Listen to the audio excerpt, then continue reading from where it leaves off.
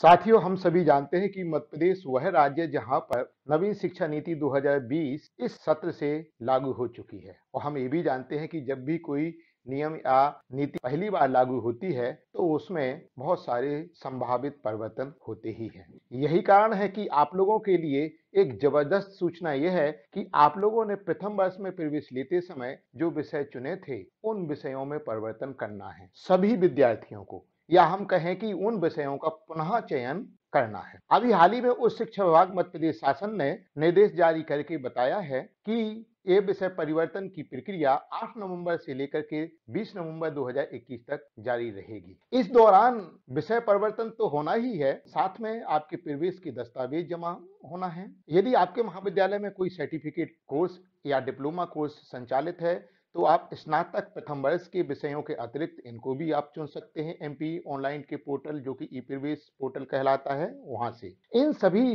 प्रक्रियाओं में आपको एक बात ध्यान रखना है कि उस शिक्षा विभाग प्रदेश शासन ने अपने निर्देश तो जारी किए ही हैं आपको अपने संबंधित महाविद्यालय जहाँ पर आपने प्रवेश लिया है, उसके निर्देशों का भी पालन। अभी मैं इस वीडियो में आप, आगे बताऊँगा कि कहाँ कहाँ पर महाविद्यालय के अलग निर्देश हो सकते हैं।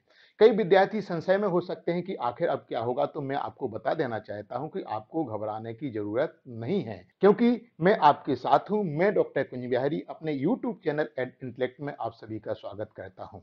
विषय परिवर्तन की प्रक्रिया आखिर कौन कौन से विषय हैं? कैसे आपको उनका चुनाव करना है? इनके संबंध में मैं आपको इस वीडियो में विस्तार से बताऊँगा। साथ में मैं आपको बताऊँगा कि विषय परिवर्तन से संबंधित एक अलग से आवेदन आपको भरना है तो उसे कैसे भरा जाए वो भी मैं बताऊँगा। और दस्तावेज़ जमा करना है तो कौन कौन से दस्तावेज़ आपको अपने महाविद्यालय में प्रवेश से संबंधित दस्तावेज़ जमा करना है, इनके बारे में भी मैं आपको विस्तार से बताऊँगा। ध्यान रहे, वीडियो बहुत ही महत्वपूर्ण है, इसलिए आप प्रारंभ से लेकर के अंत तक इसको ज़रूर देखें। सबसे पहले ये जान लें कि प्रवेश से संबंधित आपके कौन कौन से दस्तावेज़ जमा होना है। कई महाविद्यालयों में ये जमा हो भी सकते हैं लेकिन कई महाविद्यालयों में अभी तक ये जमा नहीं हुए हैं। शासन का ऐसा निर्देश है कि 8 नवंबर से लेकर के 20 नवंबर की जो तिथि है उसी दौरान ये प्रवेश दस्तावेज़ जमा होना है। इसमें जो सबसे पहला दस्तावेज़ है वो है पंजीयन फॉर्म। आप लोगों ने प्रवेश के समय सबसे पहले रजिस्ट्रेशन करवाया था उस, उसका या तो ऑनलाइन वेरिफिकेशन हुआ था और या फिर आपने महाविद्यालय में आकर के उसका सत्यापन करवाया था, वो वाला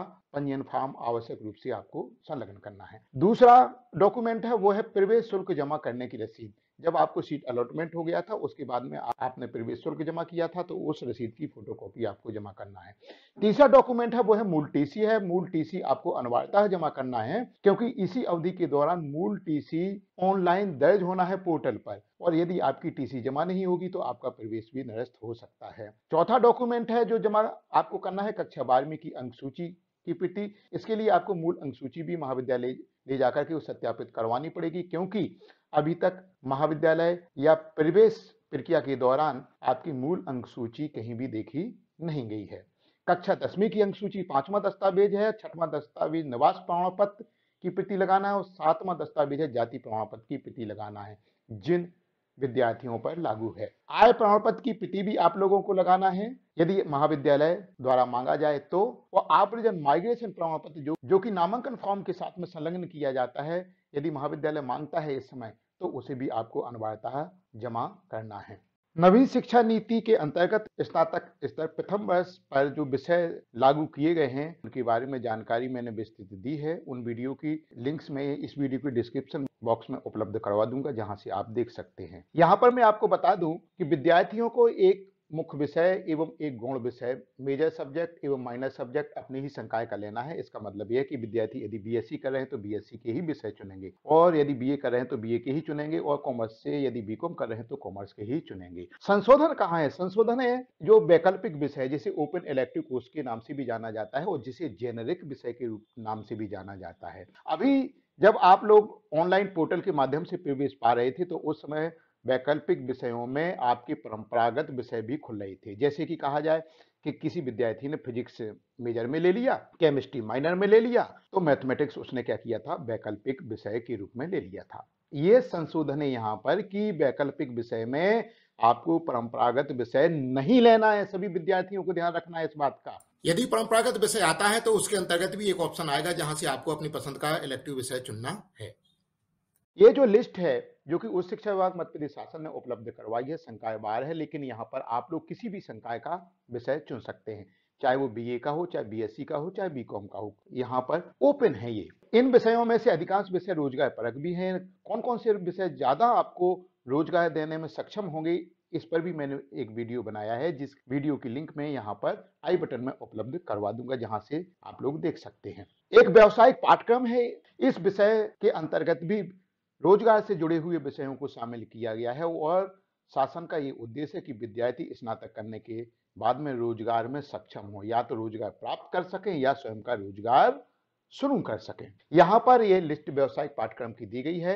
आपको ड्रॉप डाउन मेनू से इन्हीं में से कोई एक पाठ्यक्रम चुनना है। वैकल्पिक विषय और व्यवसायिक पाठ्यक्रम के संबंध में एक महत्वपूर्ण जानकारी ये है कि उच्च शिक्षा विभाग मध्य प्रदेश शासन ने सभी महाविद्यालयों को निर्देश दिए हैं कि उनके महाविद्यालय में कौन कौन से विषय संचालित होना है, उनको पोर्टल पर अपलोड करना है या अपडेट करना है, जो कि सभी महाविद्यालयों ने कर दिए हैं। तो आपको ड्रॉप डाउन में वही विषय मिलेगा जो कि आपके महाविद्यालय में संचालित हो। लेकिन फिर भी मैं आप लोगों को सलाह देता हूँ कि आप ये जानकारी ज़रूर पता कर लें, जान लें कि आपके कॉलेज में कौन कौन से विषय संचालित हैं, तभी उनको आप लें। अन्यथा उनके पठन पाठन की व्यवस्था संभव नहीं हो पाएगी। अनिवार्य विषय के रूप में आधार पाठ्यक्रम आपको लेना ही है। इंटर्नशिप परियोजना और शिक्षता में से कोई एक लेना है। बहुत सारे विद्यार्थी परेशान होंगे कि इंटर्नशिप, फ़ील्ड प्रोजेक्ट और अप्रेंटिसशिप क्या है। इसके बारे में भी आपको जानकारी मेरी एक वीडियो में मिल जाएगी, उसको आप ज़रूर देखिएगा। अब मैं सही तौर पर विषय परिवर्तन की प्रक्रिया को आपको बताना चाहता हूँ। आप लोग ध्यान रखें, विषय परिवर्तन दो तरह से हो सकते हैं। एक तो क्या है कि आपने प्रपत्र भर करके प्रवेश दस्तावेजों के साथ में महाविद्यालय में जमा कर दिया तो महाविद्यालय आपके चाहे अनुसार विषयों का परिवर्तन कर देगा। दूसरा तरीका यह है कि आप स्वयं किसी कंप्यूटर सेंटर पर जाकर के अपनी इच्छा अनुसार विषयों का परिवर्तन करवा लें। प्रपत्र फिर भी आपको जमा करना पड़ेगा। आप नीचे नोट लगा दें कि मैंने विषयों का परिवर्तन पोर्टल पर स्वयं कर लिया है। क्योंकि महाविद्यालय में बहुत सारे प्रवेश हुए हैं तो इस कारण से भीड़ रह सकती है। तो मेरी तो व्यक्तिगत सलाह यही है कि आप पहले कंप्यूटर सेंटर पर जाकर के विषय परिवर्तन करवा लें। यहाँ पर देखिए, एक विद्यार्थी ने मेजर सब्जेक्ट के रूप में बॉटन लिया है, माइनर सब्जेक्ट के रूप में केमिस्ट्री लिया है। तो ये दोनों ही विषय क्या हो गए, उसकी संकाय के हो गए हैं। अब हम बात करते हैं फैकल्टी ऑफ़ जेनेरिक सब्जेक्ट, जिसका मतलब होता है ओपन इलेक्टिव। इसको पहले आपको यहाँ पर संकाय चुनना है, क्योंकि मैंने जो लिस्ट बताई है वो संकाय वार है। हालाँकि आप स्वतंत्र हैं कि आप किसी भी संकाय का वो विषय ले सकते हैं। इस विद्यार्थी ने यहाँ पर आर्ट्स चुना है और यहाँ पर सब्जेक्ट के रूप में होम साइंस चुना है। होम साइंस के बाद में एक ऑप्शन और मिलेगा जहाँ से आपको इलेक्टिव विषय चुनना है। कला संकाय के विद्यार्थी देखें, आपके सामने एक विषय समूह खुल सकता है, जहाँ, जिसमें तीन विषय होंगे, लेकिन आपको उसमें से दो ही विषय चुनना है। फिर देखिए वोकेशनल सब्जेक्ट है। वोकेशनल सब्जेक्ट में जैसे इस विद्यार्थी ने सौंदर्य एवं स्वास्थ्य कल्याण लिया है ड्रॉप डाउन मेनू से वही विषय खुलेंगे, जो कि महाविद्यालय ने अपडेट किए हैं या महाविद्यालय में उपलब्ध होंगे। और दाहिनी बगल प्रोजेक्ट इंटर्नशिप इनमें से आपको कोई एक चुनना है। तो ये थी विषय चयन की प्रक्रिया। अब मैं आपको बताता हूँ कि प्रपत्र विषय चयन से संबंधित आपको कैसे भरना है। विषय परिवर्तन हेतु जो प्रपत्र भरना है, वो आप लोगों को अपनी स्क्रीन पर दिख रहा होगा। यहाँ पर एक सामान्य सी जानकारी है, जिसको आप लोग भर लेंगे। यहाँ पर छठवां और सातवां बिंदु महत्वपूर्ण है। छठवें बिंदु में वो विषय भरना है, जो आपने प्रवेश के समय लिए थे। और सातवें बिंदु में वो भरना है, जो कि आप बदल करके विषय चाहते हैं। इसमें जो अंतर होगा, मुख्यतः वो इलेक्टिव विषय में होगा। इलेक्टिव में आपका प्रवेश के समय शायद कोई परंपरागत विषय हो सकता है, लेकिन अब आपको यहाँ पर क्या करना है? दी हुई लिस्ट में ड्रॉप डाउन मेनू से चुन करके इसमें भरना है, जो आप विषय चाहते हैं। वोकेशनल विषय में भी परिवर्तन हो सकता है और यहाँ फ़ील्ड वर्क में भी परिवर्तन हो सकता है तो जो भी परिवर्तन हो उसको दर्ज करें। आठवां बिंदु भी महत्वपूर्ण है, परिवर्तन हेतु आवेदित कक्षा ये उन विद्यार्थियों के लिए है जो अपनी कक्षा का परिवर्तन करवाना चाहते हैं। जैसे कोई विद्यार्थी ने बीए में प्रवेश लिया, लेकिन वो बीएससी के लिए पात्र है, वो बीएससी करना चाहता है आप, अब तो वो बीएससी में जा सकता है। बशर्ते उसको ये पता करना होगा कि बीएससी में जहाँ वो जाना चाहता है, वहाँ पर स्थान रिक्त हैं या नहीं। यही नियम सभी कक्षाओं के लिए लागू होता है। फिर इसके बाद में ये यहाँ पर घोषणा दी गई है। यहाँ पर विद्यार्थी को दिनांक लिखना है और विद्यार्थी को अपने हस्ताक्षर नीचे का जो आयत दिया गया है, जिसमें जानकारी है, इसमें आपको कुछ नहीं भरना। ये महाविद्यालय के उपयोग के लिए है। तो ये संपूर्ण जानकारी थी विषय परिवर्तन के संबंध में, विषयों से परिचय के संबंध में और विषय परिवर्तन हेतु जमा किया जाने वाला प्रपत्र कैसे भरा जाए उसके संबंध में। और साथ में मैंने आपको जानकारी दी है कि आपको कौन कौन सी दस्तावेज़, प्रवेश दस्तावेज़ के रूप में अपने महाविद्यालय में जमा जमा करना आशा है आप लोगों को ये वीडियो पसंद आया होगा, यदि पसंद आया है और यदि आपको ये लाभदायक लगा है तो इस वीडियो को अधिक से अधिक शेयर कीजिए ताकि अधिक से अधिक विद्यार्थी लाभान्वित हो सकें। किसी के मन में कोई शंका ना रह सके। यदि आपके मन में कोई संशय है तो आप मुझे डायरेक्ट कॉल भी कर सकते हैं और मेरी वेबसाइट एट या doctor Kunj Bihari dot blogspot dot com पर भी विज़िट कर सकते हैं, जहाँ पर आपको संपूर्ण जानकारी प्राप्त होगी। आप लोगों ने अपना अमूल्य समय दिया और इस वीडियो को देखा, इसके लिए आपका बहुत बहुत धन्यवाद। Have a good day.